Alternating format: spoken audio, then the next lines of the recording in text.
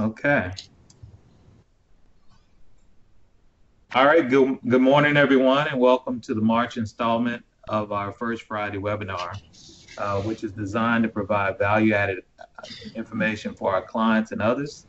Uh, this is Daryl Groves. I'm glad that you are able to join us today. We'll be recording today's webinar and we'll make it avail available later for viewing on our website under the Client Center. The format for the format for our webinar will be as follows. All participant lines will be muted, um, but questions can be raised during the presentation using the Q&A comment box to the left. Uh, we will make every effort to answer questions during the Q&A session. Any additional questions will be answered offline. We will also be using polling questions as a means to gather information from our audience and as always, we will, you will, uh, you are more than welcome to set up a one-on-one meeting to cover additional questions or concerns that you may have regarding your tax accounting or other financial management needs. Our agenda today as follows. We'll uh, we have one guest presenter today, Rashana Lilly, and she'll talk about small business retirement plans. And then after that, we'll have a Q&A session. Okay. Well, just to uh, remind you about our team, uh, we're so blessed and, and, and, thankful to be working with a fabulous team of dedicated professionals that are focused every day on providing the best service to our clients. Joe Martinez heads up our accounting team and works diligently to make sure that your financial statements are prepared accurately and timely. Uh, Wendy Pineda is our tax lead, and she's focused on coordinating client tax planning throughout the year and ensuring that our annual tax return filing process uh, runs smoothly and efficiently. Simone Duncan and Emma Martinez are on the front line providing accounting and tax support, and Ellen Hughes is our firm administrator managing our accounting, payroll, insurance, and other items. So feel free to contact any one of us if you have any questions. So for those of you not yet subscribed, we do also offer a free monthly newsletter that features four to five brief, brief articles each month that are designed to keep you updated year round on tax updates and information you need to manage your business finances. You know, it's amazing how many times that I've gotten a question and just been able to refer um, refer the person to an article that was on our news play, uh, our newsletter uh, at some point, and you know it usually answers it in a, a very straightforward manner. So to subscribe to our newsletter, you just go to our website at dwgcpatx.com and select subscribe at the top right corner. You'll receive an email asking you to confirm your subscription, and that's it. You know, this will ensure that you stay up to date, and it may spark a question or two um, and just know that we're here to help you. We also are active on social media. Uh, you can get more frequent updates by liking our page on Facebook, uh, following us on Twitter, or just by connecting via LinkedIn. So as I mentioned, we will be conducting a couple of polls throughout the webinar. So here's the first poll of the day.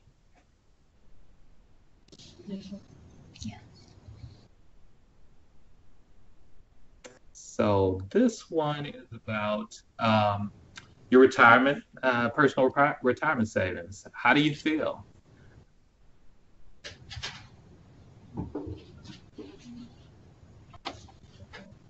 And uh, let's see, are we? Okay. Uh, yeah. Well, that's good so far. Okay. Kind of in the middle. Not bad. Okay. All right. Yeah. Well, well, it's good to know that uh, not very many people are at, um, or at least the people that we have responding are, or have at least started the process. Yeah. Let's see go back. Yeah. All right. Okay, well, great. So, um, you know, as I mentioned earlier, our guest speaker today is Rashana K. Lilly. Rashana Lilly is a financial advisor and associate vice president at Ameriprise Financial with 11 years of experience. She is, she is one of the partners with McGill, DeGrange, Lilly, Chu, and Associates. She has been honored with the nationally recognized Five Star Wealth Management Award from 2013 through 2016.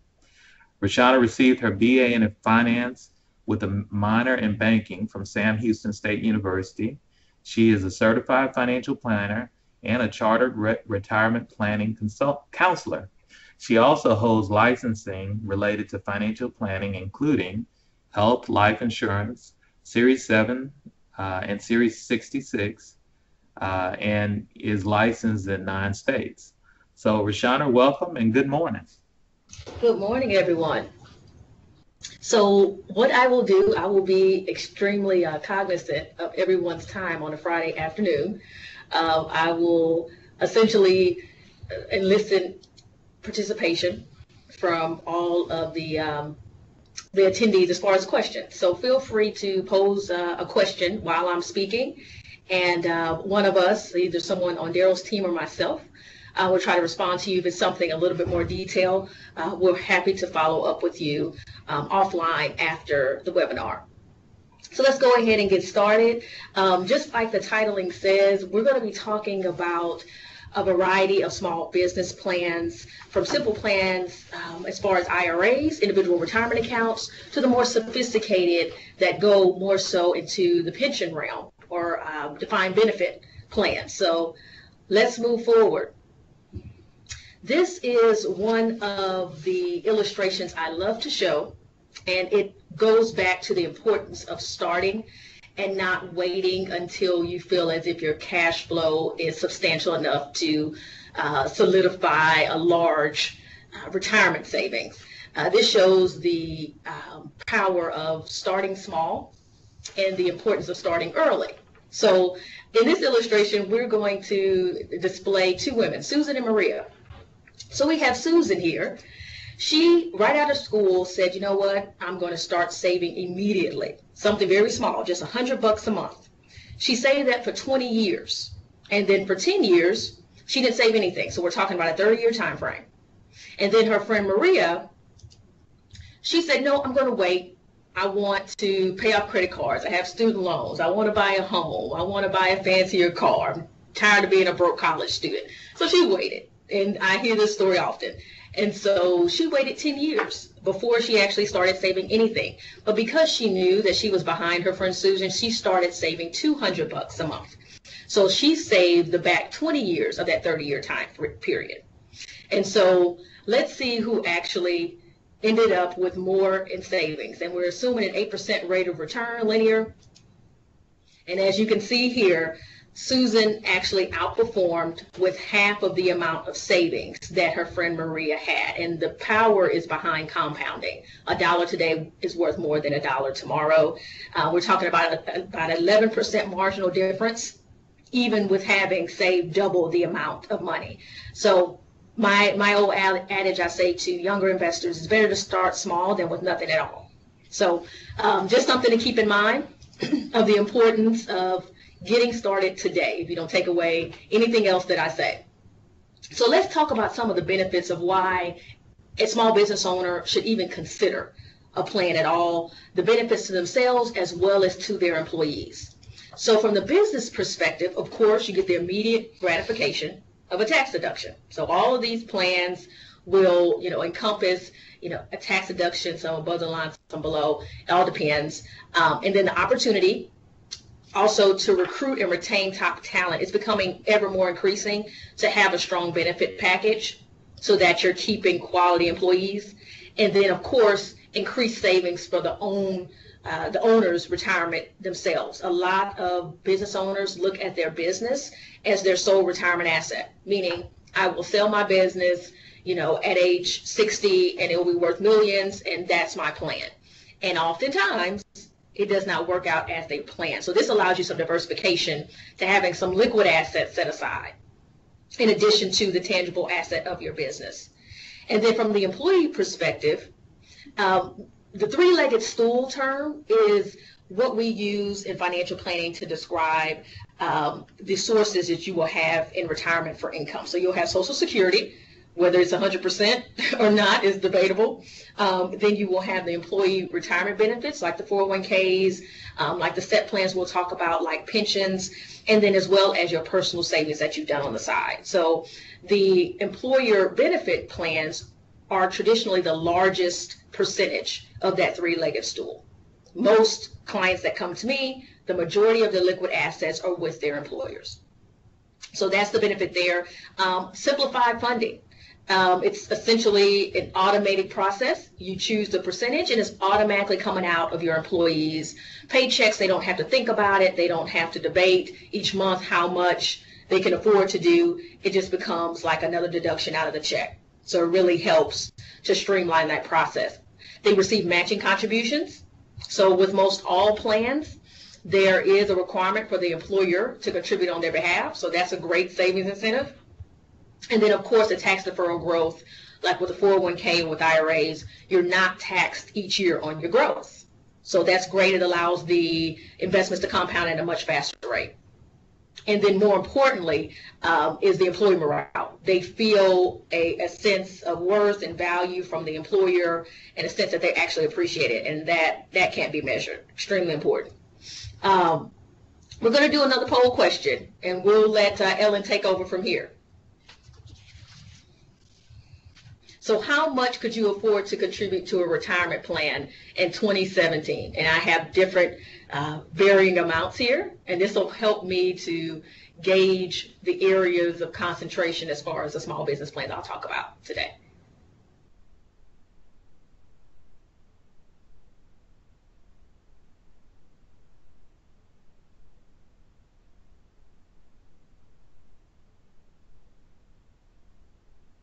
Okay. Looking good here.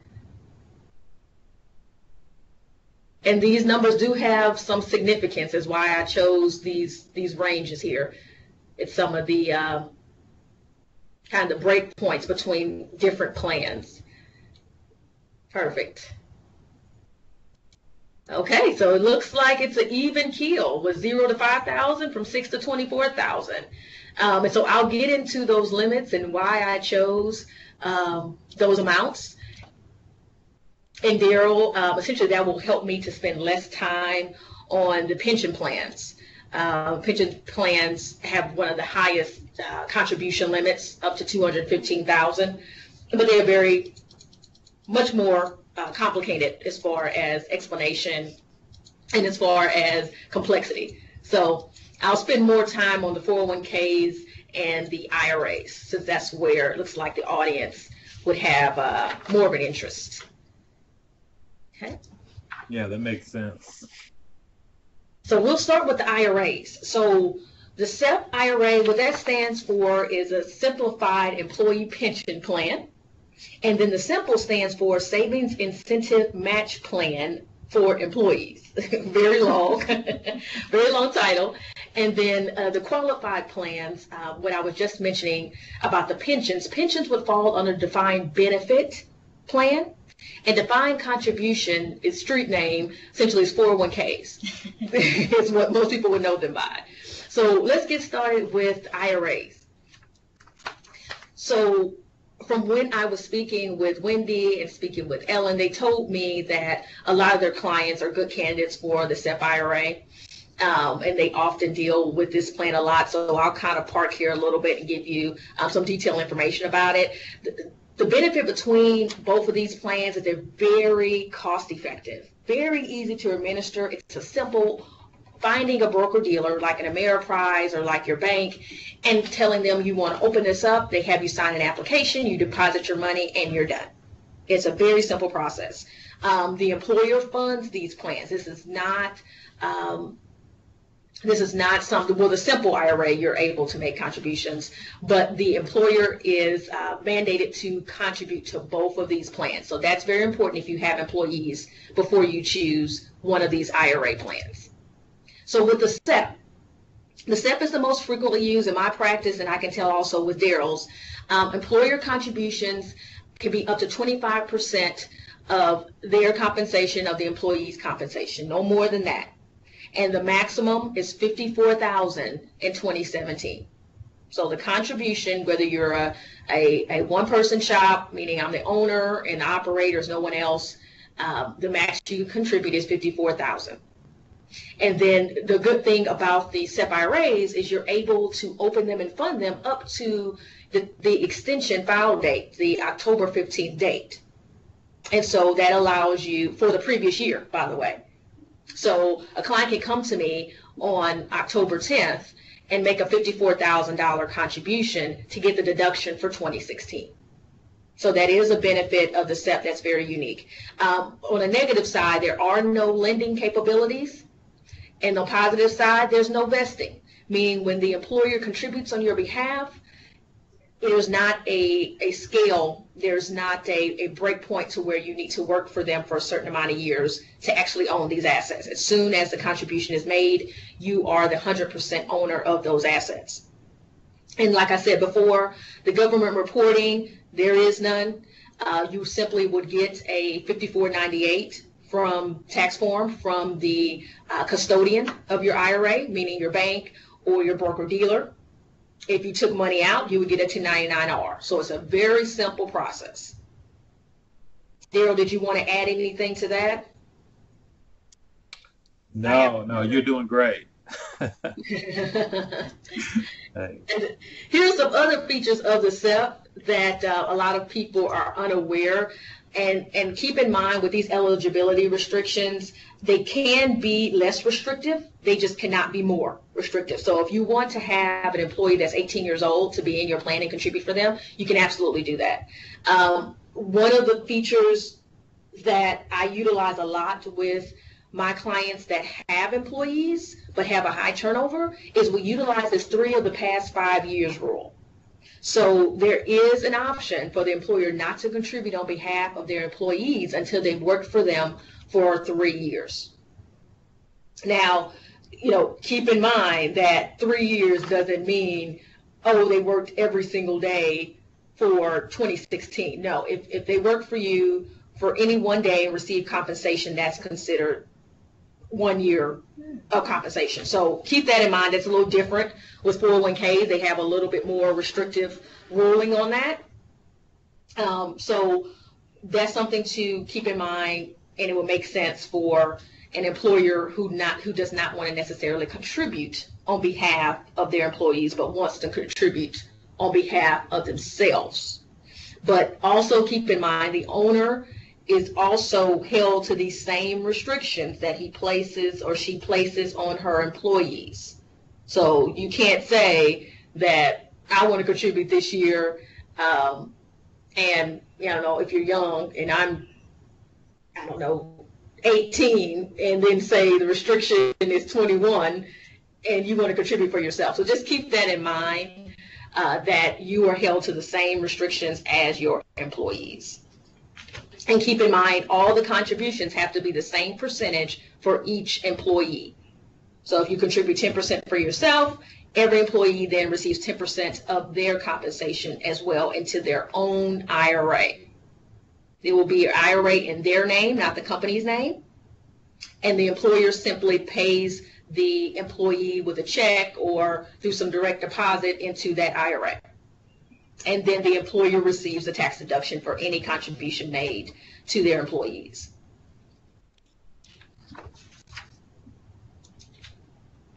Now with the simple IRA, and Daryl, did you want to add anything or have any questions as far as with the the SEP IRA that comes up often in your practice? Um, yeah, I think um, for those clients that um, that haven't set it up, it, it, it often is a challenge for them to to realize the value uh, in doing the SEP. But but certainly the big advantage from a tax standpoint is being able to deduct that that expense or defer the taxes um, uh, on that income that uh, based on the contribution. So that's that's a real benefit of doing it from a tax perspective. But but I know you're really uh, focusing on the added benefit that um, they they they're not spending it on something they're actually putting it away for themselves so it's just really giving you a tax benefit for saving Absolutely. It's a big deal and it allows one of the highest contribution allocations among all the different retirement plans. The, the SEP IRA gives you one of the highest um, availability. So it, it just really makes sense, especially if you can't afford to, to max it out. Should definitely be done while the cash flow um, is, uh, is strong. And then the simple IRA, this is when I told um, Daryl's staff that essentially it's, it's not utilized as often um, as far as with retirement and small businesses, just really because there are other options like the SEP and with 401k um, becoming a lot more cost effective over the years. The simple IRA only allows deferrals up to 12,500, and if you're over the age of 50, 15,500. So a relatively lower contribution amount. Um, the employer uh, has to make a contribution for the employees. There are two different options that they can make, uh, but the employees actually do contribute to their simple IRA on behalf of themselves, kind of like a 401k. They can choose how much out of their paycheck would go into that simple IRA. So uh, then the employer then matches based on their contribution. Uh, very low administrative costs. Once again, it's dependent on the broker dealer, the custodian that they choose. Um, but once again, it's a simple application checking the simple IRA box, and then making their deposits as they need. Now, the deadline to establish the simple IRA is a little different from the SEP. It's October 1st and not October 15th. And with the simple IRA, uh, those contributions would be for that calendar year. So, yes. let me ask a question on that uh, Rashana. so when you say october 1st you mean that is october 1st of the tax year or um, of the following the year after of that not the year after. So like sep you can make you can still make contributions today for 2016 right. Well simple ira is different. It is in fact like the 401k it's the current year. Gotcha. Okay Yep. right yeah so that's another that's another nuance. Um, also uh, if the company is established after October 1st, they are given the option to set up their plan by December 31st. Hmm. So only if your company was open after October 1st can you have uh, this option. so when would you think it makes sense to do a simple ira over a sep ira If you know that yourself and your participants will not be contributing um, and will not have the need to contribute over the 15,500, it really just boils down to that because it's a lot less flexible than any other plan. So it really would be the fact that, hey, I know myself nor my employees can afford to contribute more than $15,500 a year. gotcha all right And you can change it, but just know the simple IRAs, it must be the only plan a business contributes to in a calendar year. So if you decide to, in 2016, I want to open up a simple IRA, um, and then in 2018, you know what? Now we can actually start doing $24,000, $50,000 contributions. Then you can open up the 401k, but you can't make contributions until the calendar, the next calendar year, once that simple IRA is closed. uh, So little little nuances um, with that simple IRA, and then you can have no more than 100 employees. So if you have 101 employees, then you can't do a simple IRA regardless. okay So little nuances to make it it makes it a little bit more restrictive, and then also these are the two options that the employer has to make the matching. So they have a mandatory matching. They can either do 100% up to the 3% of the employee's compensation, and just like in the parentheses says, they have the option to lower it to 1% for two years if they have cash flow constraints or they just don't want to make the contribution for whatever reason. They do have that option.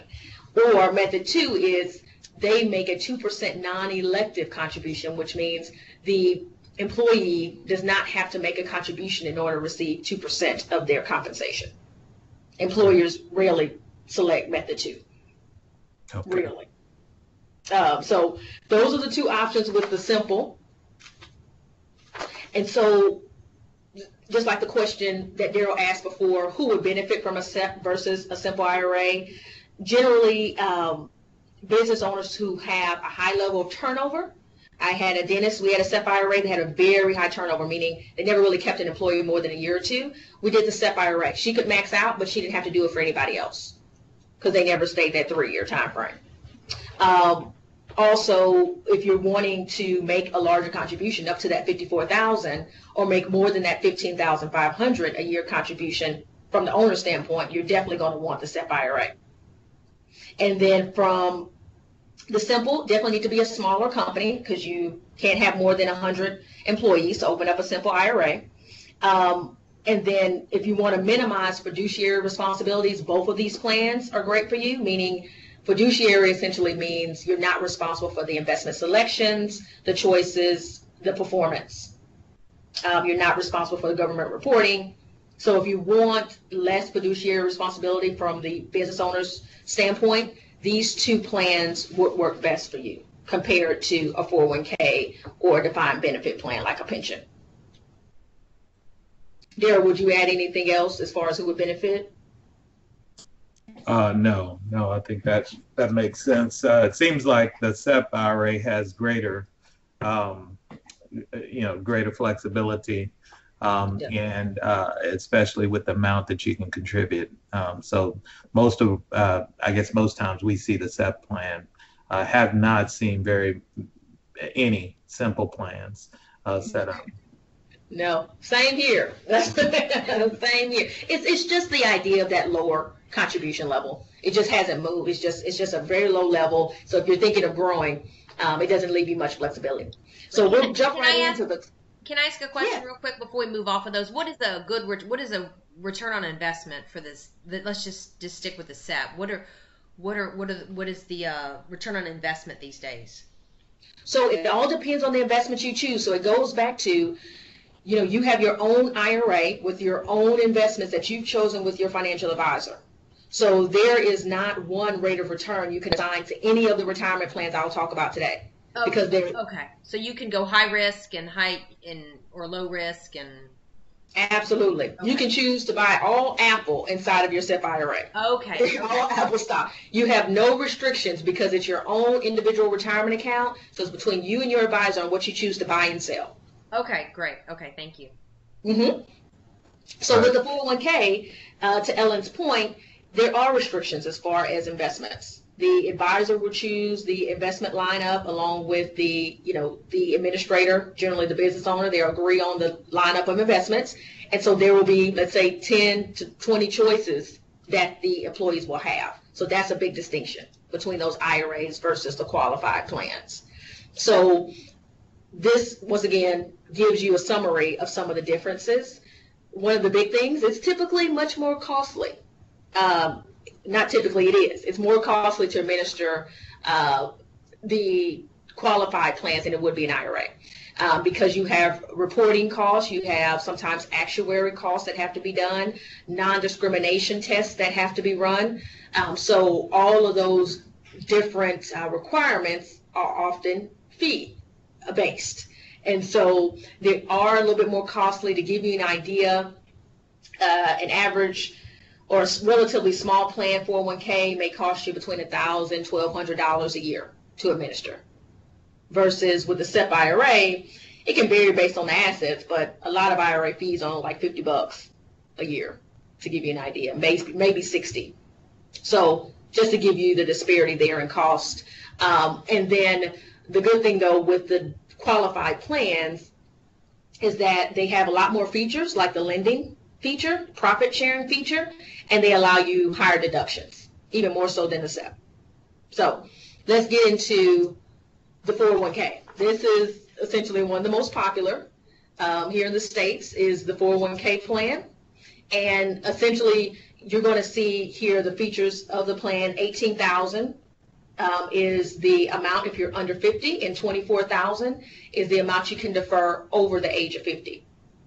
Uh, a great point that it has that's unique is the profit sharing piece over here that's 0 to 25%. It is discretionary. So the employer has the option to do this from one year to the next.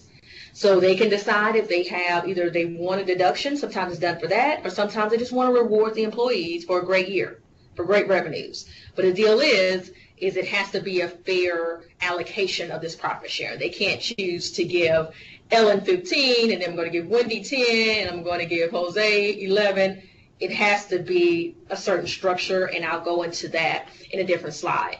Um, a lot of people are not aware that the 401k, you can't have an aggregate contribution of 54,000. And if you're over 50, it will be 60,000. How that's made up is your pre-tax 18,000 or if you're in a Roth 401k after tax 18,000. Then you have whatever matching or profit sharing that your employer has put into the plan. And then the amount that's left between the 54,000 or the 60,000 is the amount you can contribute to after tax. And when it means after tax, it means you do not get the tax deduction. But in most plans, you have the availability to take that those funds out while you're still working at the company and before you're 59 and a half and roll them over into a Roth IRA. So that's a strategy I utilize a lot with my clients that make over the salary cap to open up their own Roth IRA. I utilize the after-tax portion within their 401k because it doesn't have any income limitations. You can make a million dollars and do this strategy. So we can put in the after-tax money, let's say 20, 30,000 is what they have left after their contribution and the employer contribution. We put that in after tax, and then the next year we do a direct rollover of the after tax money into their own Roth individual retirement account. And that's the way they can build tax-free assets in retirement. So it's a strategy that's underutilized and most people are unaware of.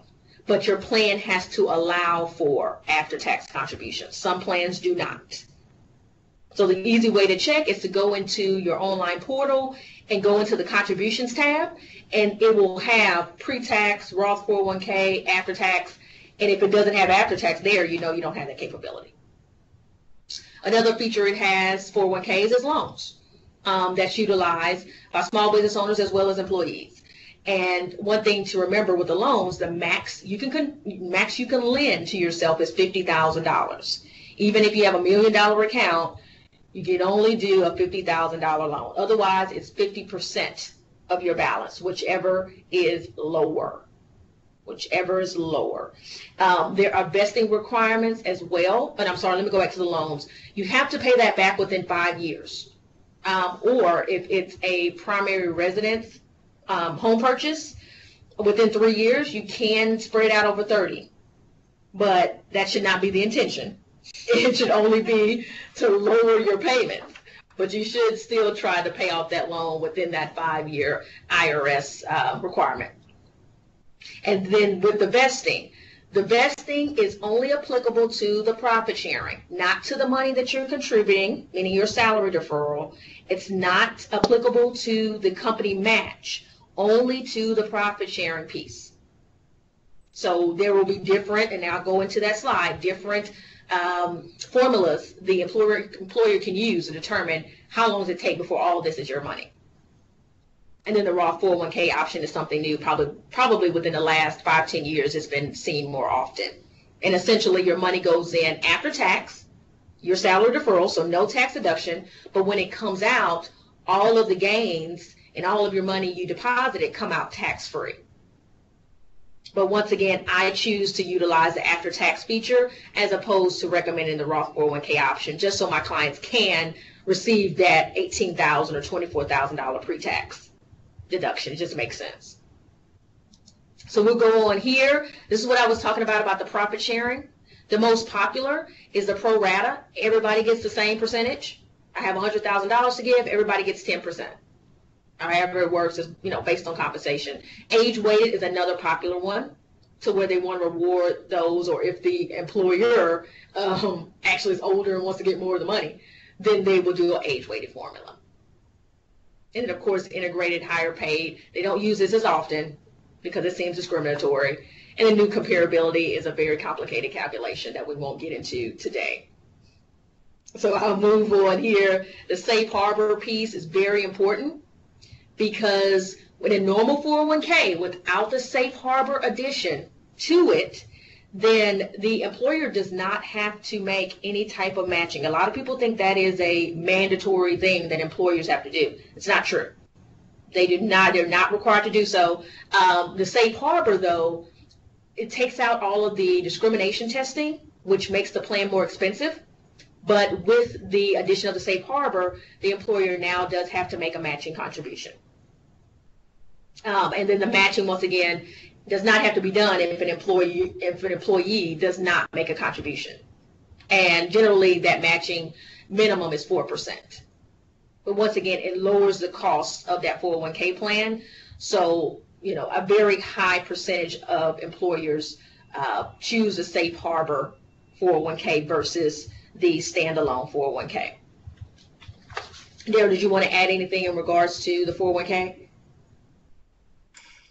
Um, yeah, I'm thinking of numbers. I guess that makes sense. Um, uh, so, in terms of the types of plans that you typically set up, what percentage would be 401ks um, versus SEP IRAs? What, what do you think that falls for most small businesses?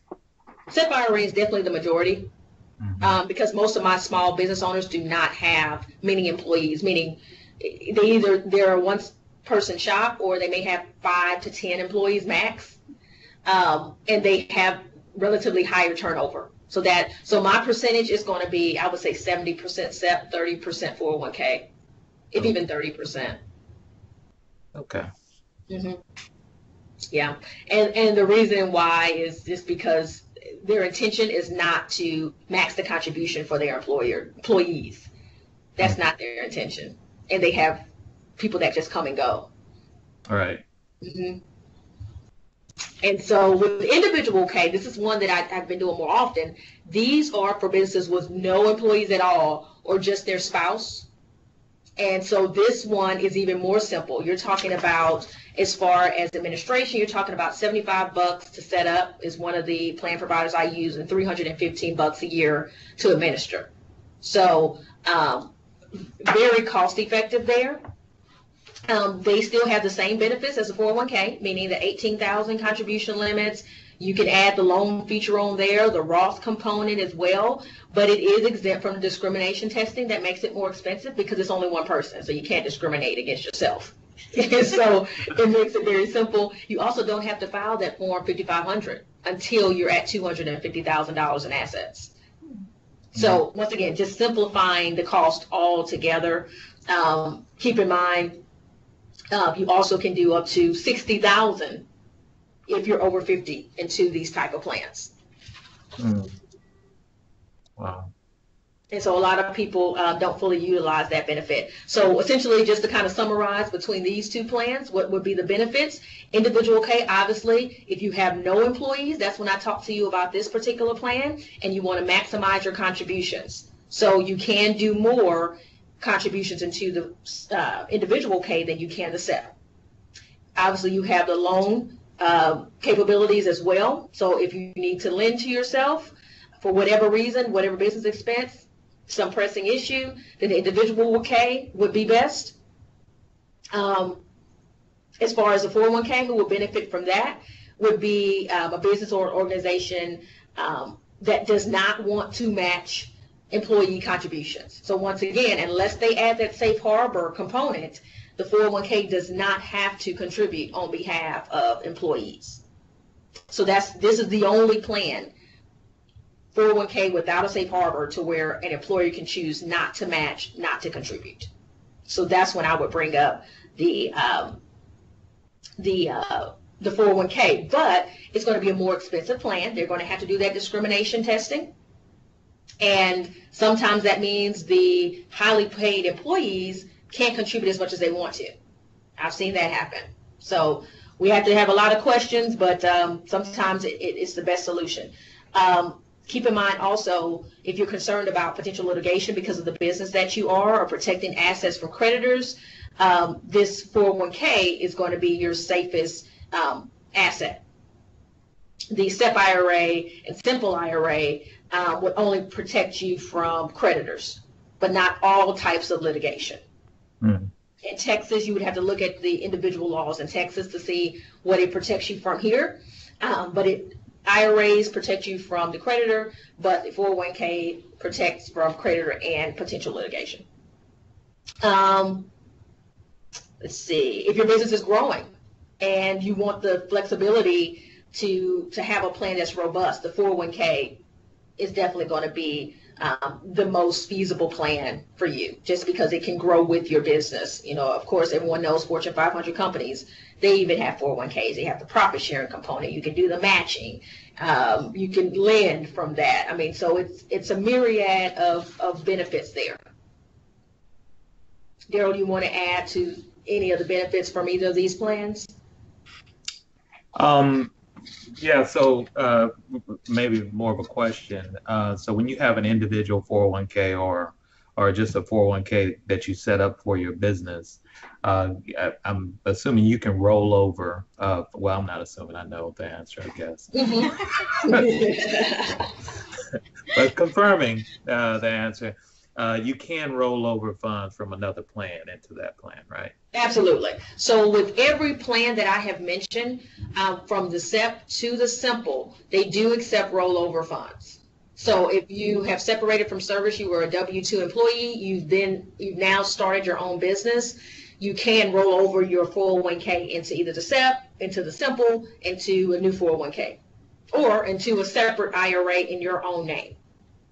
Yeah um, you know, when we talk to clients about setting up a retirement plan as a um, as an option to cut their tax um, tax costs, you know, you almost see a um, there's a reluctance uh, to do it because um, you know they lose control of the funds. Um, what, what are some of the reasons that you've heard over the years of why people want to delay setting up a, a, a retirement plan?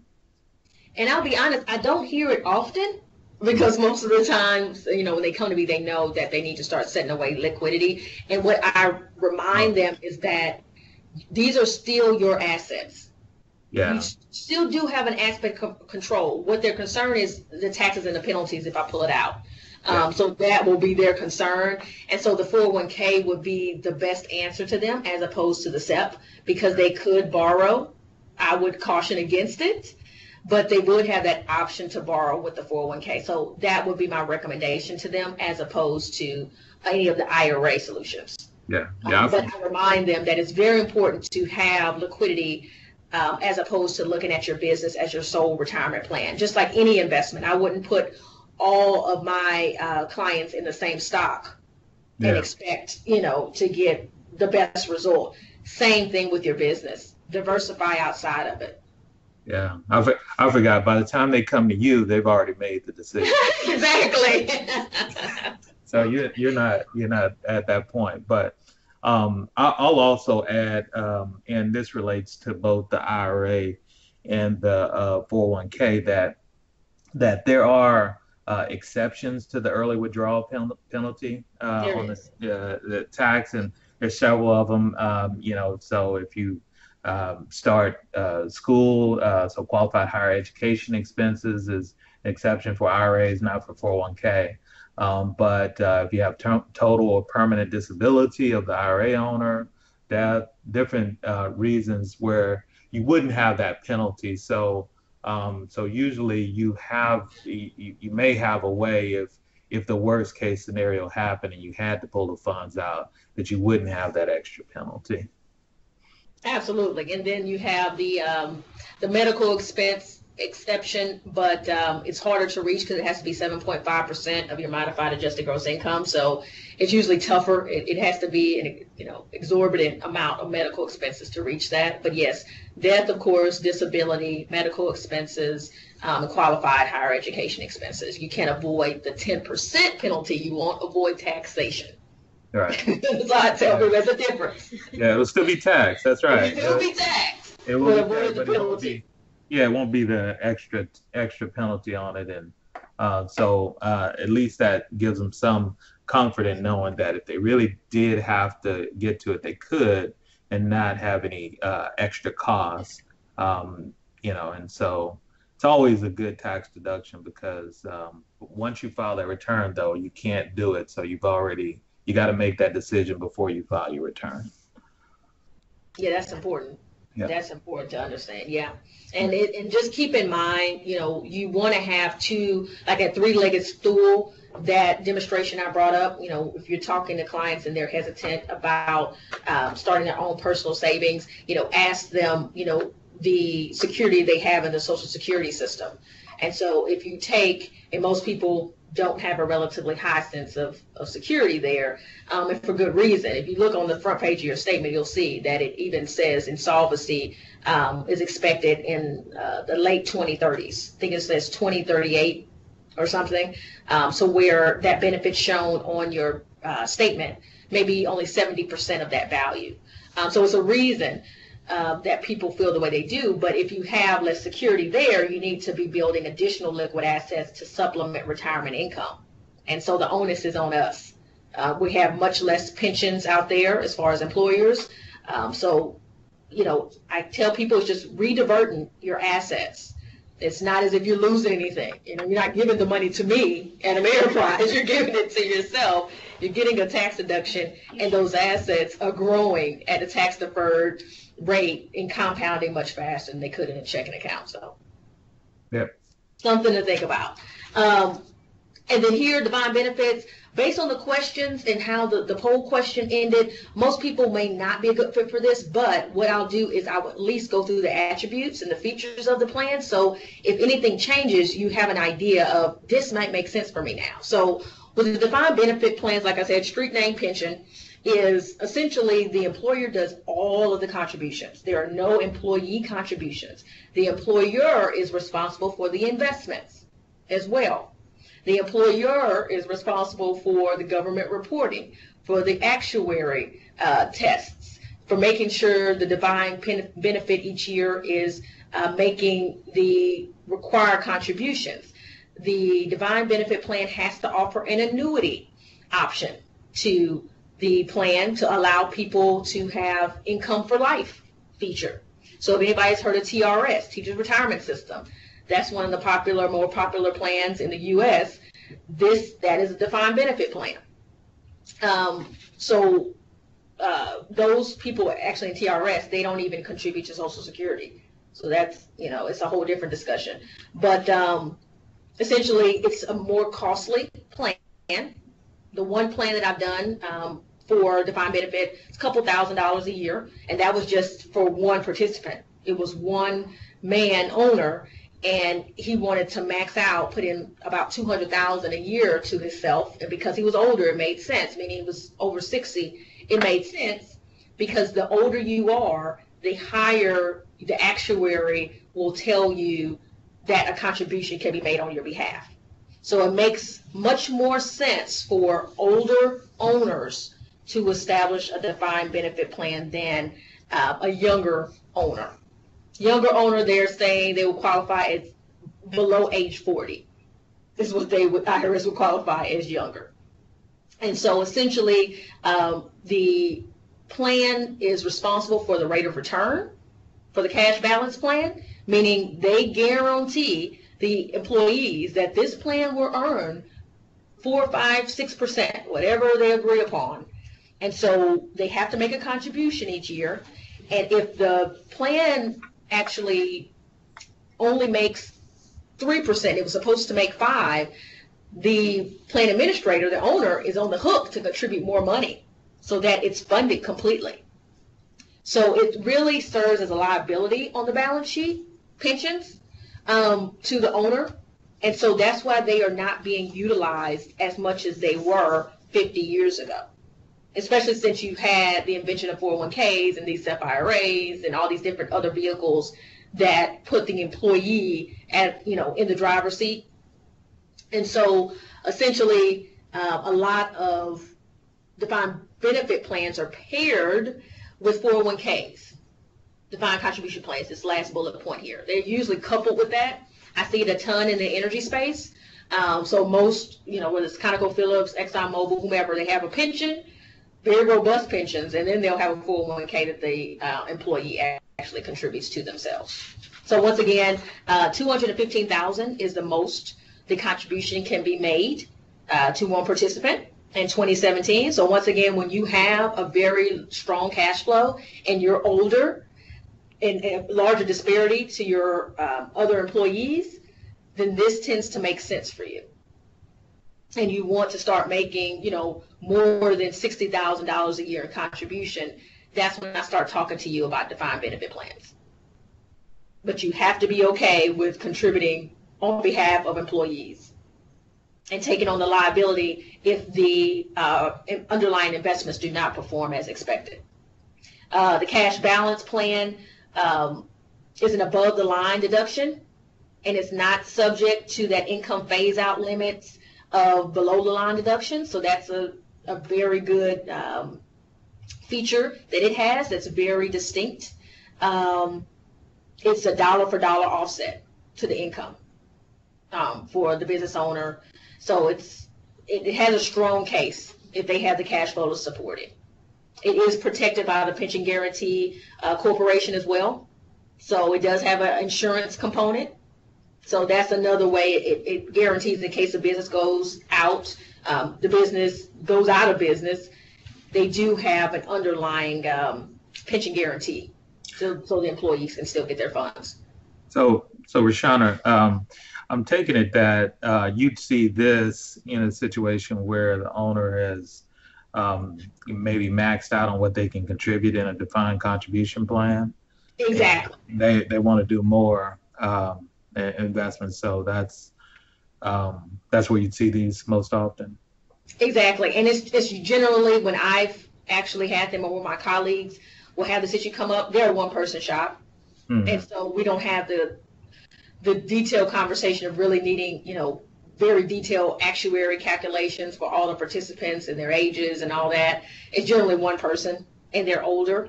So it wouldn't make sense for somebody who's in their 30s that can still make more than the $60,000 contribution because the amount, and I think we talked about this with one of your clients, the amount they contribute would still be nominal and they would be having this relatively larger cost to administer the plan. So I don't even really bring it up unless someone's about 50 years old, not even really in their 40s. I would recommend 50 and up before it really starts to make sense. So, are there limits on how much they can contribute? Um,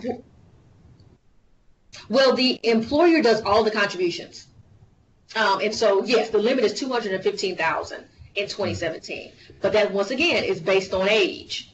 Right. Yeah. So they, the actuary has to do the calculation, and so this person I talked to that it was a possible um, solution. They were in their 30s. It didn't make sense at all. They weren't anywhere near $215,000 that they could contribute. Mm, gotcha. So we decided to do profit sharing so that they can get some uh, profit sharing within the 401k to get some additional deductions. Gotcha. Okay. Mm-hmm or it's, it's, different life insurance plans. That's something we didn't talk about here, but it's different life insurance um, ways that business owners will often utilize to save as well. And that's once again an individual thing. That's an individual life insurance policy on yourself. You don't have to account for any employees at all. So that's another solution that I've used that I didn't touch on. So you can build essentially we call it an overfunded life insurance plan. It's it's a cash value plan and they're making relatively large contributions. So the largest one I have now is they make about ninety thousand dollar a year contribution to this plan, and then the cash value grows, and you know it's expected to be hundreds of thousands of dollars, you know, at a certain period of time. So with with life insurance, though, um, they're they're contributing after tax dollars. Yes. And then, but the but the big benefit of it, uh, I would think, is that um, when the or when the beneficiary receives the life insurance, it's not being taxed. Well, no, they can actually the owner who actually owns the policy and is the insured, they can actually take out the cash value while they're living, and it's oh, tax free. Yes. yes. Okay. Yeah. So yeah, yes, if they pass away, the beneficiary does receive it tax free as well. But the plan is that they'll live to enjoy the, the, the cash inside of the plan. Right. And when yeah. they get the cash out, it's tax free to them. Okay. All right. Okay. And so essentially, I have covered all of the different plans, and this is the cash value, I mean, the cash balance plan that I was talking about earlier, and some of its features. And we talked about who would benefit there. And so essentially, I've covered um, in, with the life insurance about five different um, ways that you can set aside funds, um, tax beneficial funds for retirement. And so uh, I always offer, me and my practice always offer complimentary consultations um, and for more detailed questions and to evaluate your situation uh, more specifically. So I'll always offer that uh, to any of Daryl's clients. Here's my contact information as well. And then I will give it back on over to Daryl and his team. Okay. Well, um, Rashana, um, I think I've we, we've known each other for a few years now, and um, Yeah. yeah, we've we've been able to um, refer uh, back and forth to each other, and we definitely appreciate uh, your presentation today. I, I, I think one thing that um, that I've found and, and, and heard from our clients that have come to use you is that they really appreciate the, the way that you um, yeah, you pretty much you break it down to, for them and Okay, good. make it easy for them to understand and and um, and and definitely with your practice you you all have um, access to do whatever uh, our clients need in the financial planning area so we appreciate you and um, I think we may have a couple of other questions Ellen did we have a couple of other questions that were out there Um, when is it acceptable to borrow from your 401k? Great question. Um, so essentially, I have a strong opinion on it, but I'll be very objective. Uh, it would need to be dire. Is is my quick answer, and the reason why I say that because what will happen is, and I see it often with business owners.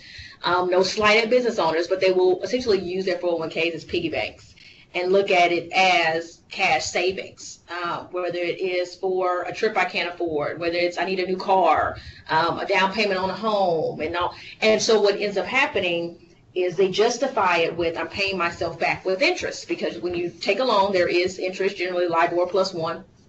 Um, that you're paying back. But what you have to remember is that when you're paying it back, you're just getting back to even. So if you take out fifty thousand, you pay it back within five years you're missing out on the opportunity cost of what that 50,000 could have grown to in the five years. Could have been 75,000.